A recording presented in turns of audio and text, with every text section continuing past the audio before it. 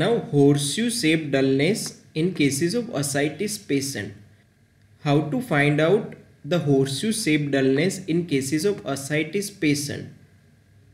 Percuss outward from the umbilicus.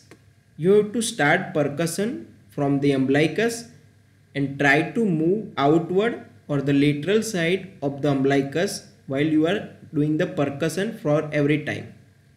Mark the point when tympanic note is converted to the dull note.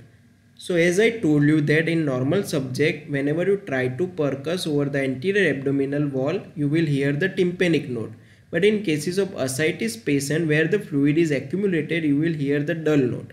So mark the point when the tympanic note is converted to the dull note and it is due to the presence of fluid as in cases of ascites patient. And whenever you try to join all the points where you find the tympanic note will be converted to the dull note it will be looks like a U. That's why it is known as horseshoe shaped dullness. And it is only present in the ascites patients